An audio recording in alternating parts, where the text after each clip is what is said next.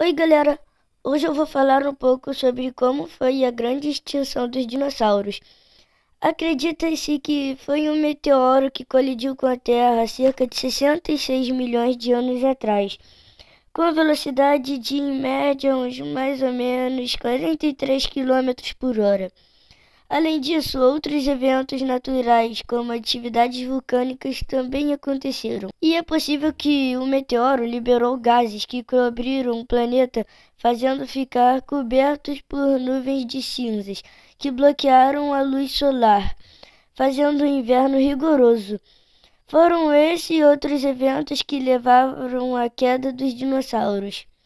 O meteoro que provavelmente extinguiu os dinossauros caiu na área hoje conhecida como México, mas mais especificamente na cratera de Chicxulub.